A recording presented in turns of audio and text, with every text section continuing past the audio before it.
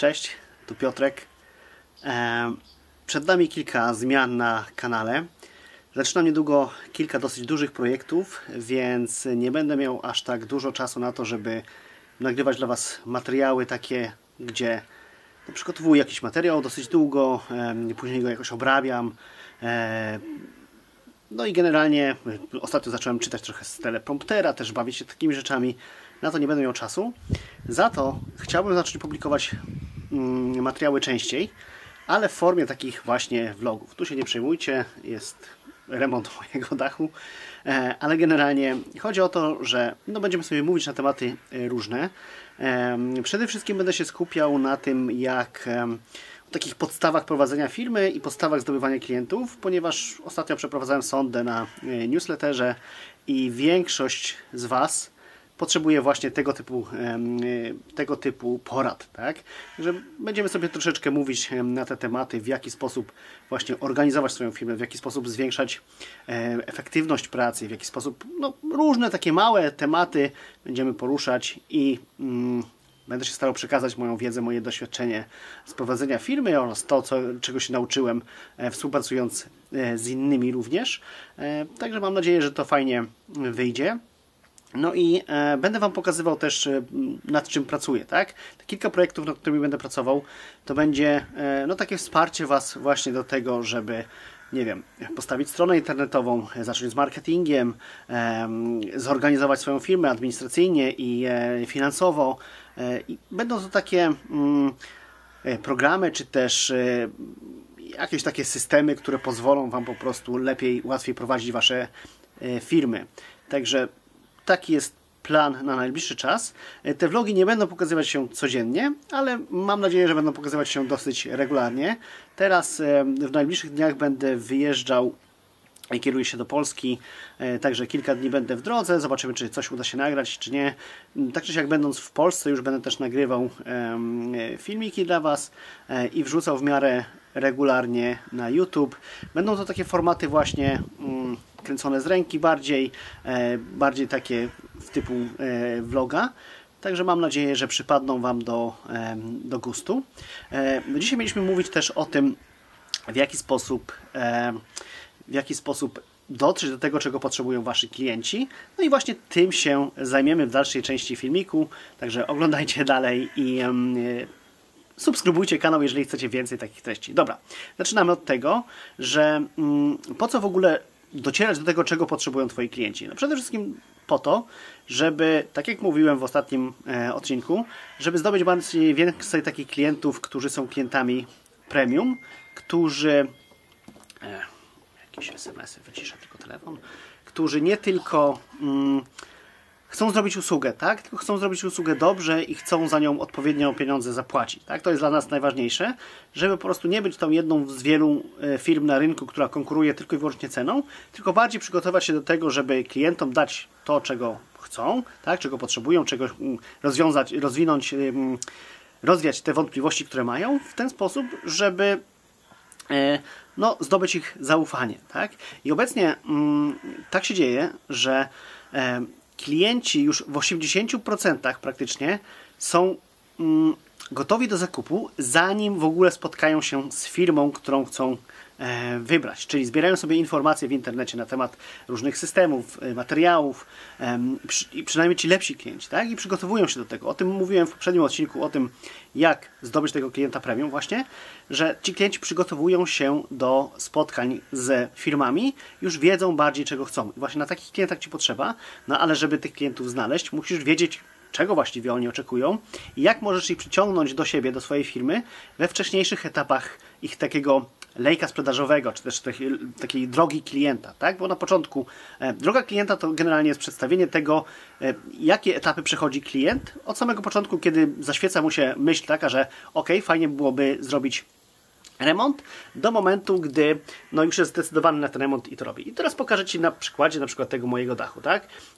w tamtym roku kupiłem dom tutaj w Bułgarii, bo przeprowadziłem się kilka lat temu, w sumie dwa lata temu do, do Bułgarii ze Szwecji i E, no co, dom był do dużego e, remontu, tak? Zająłem się najpierw jakimiś innymi e, rzeczami, ale od początku wiedzieliśmy, że trzeba tutaj wykonać remont dachu. Nie wiedzieliśmy jeszcze w jakim dużym stopniu, ale wiedzieliśmy, że trzeba tu wy wykonać remont dachu, tak? Także to już była taka moja myśl, że trzeba zrobić ten remont, tak? I już od początku chciałem się dowiedzieć mniej więcej, jakie są tutaj ceny mniej więcej za wykonanie takiej usługi.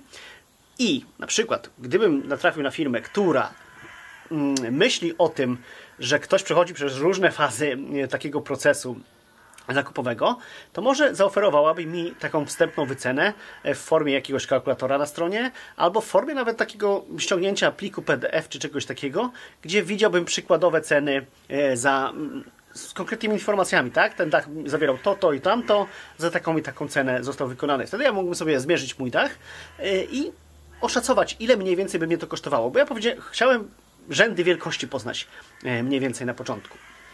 Tak? No i to była pierwsza rzecz. I potem przez kilka miesięcy robiliśmy inne rzeczy, no aż w końcu nadszedł ten czas, że trzeba by się było zająć tutaj już remontem tego najwyższego piętra e, w domu i generalnie no pierwsza rzecz, którą musimy zrobić, no to trzeba było zrobić ten dach, tak? Czyli firma, która e, zainteresowałaby się moimi potrzebami, bo ja się określam jako klienta premium, e, czyli zdobywam informacje, tak, przygotowuję się do tego, e, co trzeba zrobić i dopiero później e, działam, tak, i przy okazji nie jest dla mnie najważniejsza cena, tylko dobra jakość wykonania tego. Więc firma taka, no, jeżeli powiedzmy tak, jeżeli firmy działałyby tak, żeby właśnie złapać mnie wcześniej i utrzymywać ze mną kontakt to jest duża szansa na to, że właśnie tę firmę bym wybrał. Tak się nie stało. E, nagram o tym jeszcze kilka odcinków na tym, jak wygląda taki proces selekcji i na co zwracałem uwagę, ale nieważne. Generalnie to, żeby zacząć określać to, co, czego Twój klient będzie potrzebował w różnych etapach, żeby móc dotrzeć do niego, żeby dostosować ofertę do, y, do niego, no przede wszystkim musisz wiedzieć, jaką usługę chcesz w ten sposób zaadresować, e, co jest dla tego klienta, mm, nie, przepraszam, co jest dla Ciebie najważniejsze, tak? Możesz oferować różne e, usługi, ale e, no jest kilka rzeczy, które mm, wykonujesz pewnie najlepiej, z czego czerpiesz największe zyski, z czego czerpiesz największą satysfakcję, więc na tych rzeczach powinieneś się skupiać, tworząc właśnie e, taką swoją główną usługę, na której będziesz się skupiał. Tak? Może to być, nie wiem, robisz remonty różnych rzeczy, ale na przykład remont łazienek wychodzi Ci najlepiej, najszybciej i na tym chciałbyś się skupiać. To jest pierwsza rzecz, określenie usługi, na której chcesz się skupić. Ja generalnie jestem wielkim zwolennikiem tego, że nie da się systematyzować, nie, nie da się optymalizować firmy, ulepszać, zwiększyć zysków, jeżeli robisz wszystko no wtedy jest to bardzo ciężkie.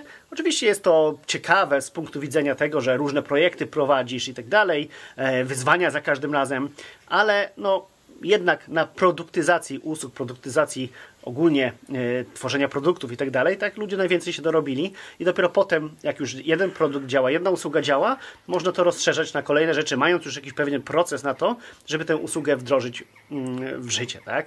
Także, bo to jest opracowanie całej logistyki, tak, żeby to wszystko działało jak maszyna, praktycznie jak linia produkcyjna, do tego nie możesz tego osiągnąć robiąc wiele rzeczy naraz. Dlatego trzeba się na tym skupić na takiej jednej rzeczy. E, oczywiście jak zaczynasz, no to robisz, bierzesz wszystko co trzeba, po prostu miej z tyłu głowy, że warto by się było wyspecjalizować w najbliższej przyszłości. Ok. Pierwsza to jest usługa. Druga rzecz to jest kontekst wykonania tej usługi. Chodzi o to, że mając remont mieszkania, na przykład y, decydujesz się, ok, robię y, kompleksowe remonty mieszkań. No i teraz jest jeszcze różnica tego, y, w jakiej sytuacji życiowej ktoś potrzebuje tego remontu.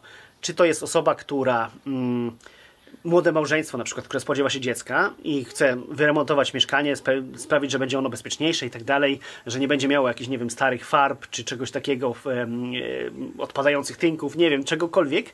E, także wtedy troszkę inne potrzeby ma ta rodzina e, młoda, powiedzmy.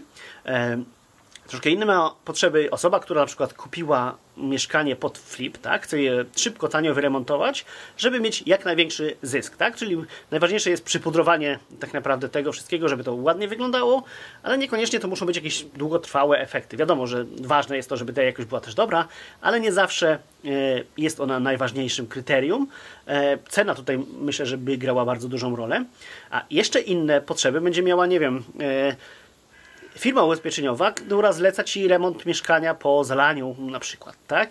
Także to już są zupełnie inne rzeczy. Czyli widzisz, remont mieszkania może mieć różne konteksty wykonania tej usługi i warto też się zastanowić, jakie to są konteksty, tak? Że na przykład przystosowanie y, mieszkania do, dla seniora też, zupełnie inne potrzeby e, ma taka osoba i inne ceny jest w stanie zapłacić. No i właśnie o to tutaj chodzi, żeby sobie e, no zacząć zastanawiać się, jakie typy tych klientów, tak? Mówisz o tym, że powinieneś stworzyć takiego idealnego klienta, no ale tych idealnych klientów możesz mieć kilku i warto się nad tym zastanowić po to, żeby właśnie móc dociec później, o co dokładnie takiemu klientowi chodzi, czego się obawia, co chciałby e, wiedzieć, zanim wykona projekt. E, właściwie powinieneś podzielić ten projekt, czy też to zdobywanie e, klienta na kilka takich etapów.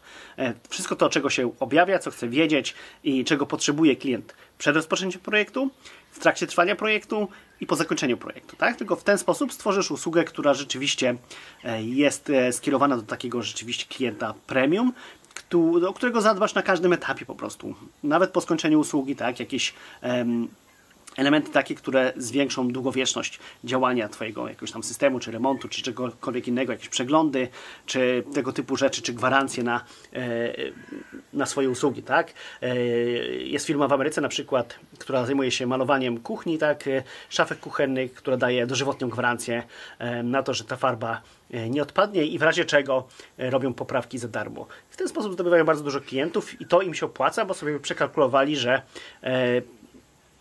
mała ilość klientów zwraca się o nich o e, po prostu pomalowanie e, jeszcze raz, więc w ten sposób po prostu wygrywają na tym, że mają bardzo dobrą gwarancję.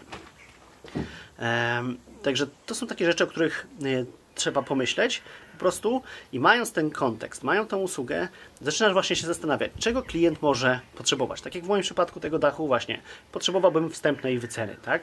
Potem potrzebowałbym na pewno informacji o tym, jakie są możliwości, nie wiem, pokrycia dachu. E, jestem tutaj, no nie powiem, w obcym kraju, tak, nie za bardzo wiem, także czuję się troszeczkę tak, jakbym po prostu był takim totalnym laikiem, który nic nie wie o budowlance.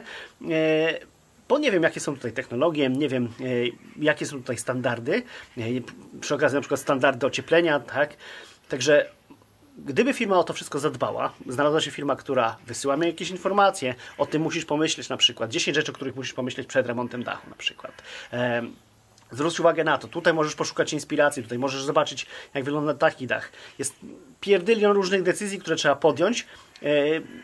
No, myśląc o takim dachu, tak, e, można sobie wziąć oczywiście architekta i tak dalej, no myśmy tutaj nie brali, tylko podejmowaliśmy wszystkie e, decyzje samodzielnie i dlatego przydałaby się taka pomoc od firmy, która no, jest specjalistą na rynku i gdyby firma budowała taka zaufanie moje od samego początku, wspomagała mnie, była takim doradcą, to wtedy naprawdę nie patrzyłbym zupełnie na cenę i wziąłbym tą, tę firmę.